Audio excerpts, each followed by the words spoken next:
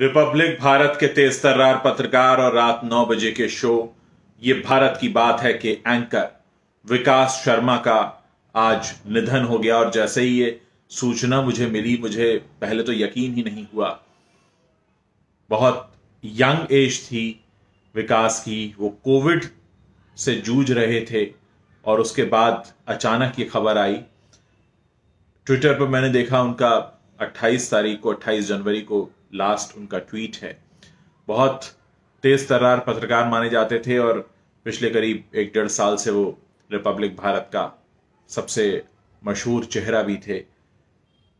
अक्सर झटका लगता है इस तरह की खबरें सुनकर और जैसा कि हमने पिछले साल देखा 2020 हम सबने लोगों से हम बिछड़ते रहे 2020 में। और इस साल अब इस तरह की खबर आना वाकई जो पत्रकारिता क्षेत्र के लोग हैं, उनको बुरी तरह से तोड़ गया है। और ये वो मौका है जब हमें, हमारे देश को बहुत सधे हुए पत्रकारों की ज़रूरत है।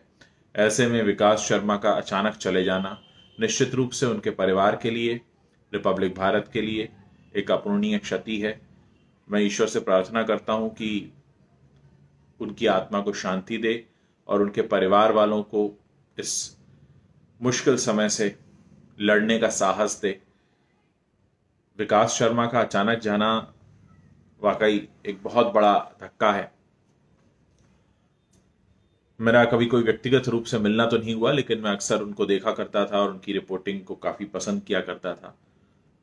अचानक जब ये खबर आई, उसके बाद से लगातार लोगों के मैसेजेस आना शुरू हुए।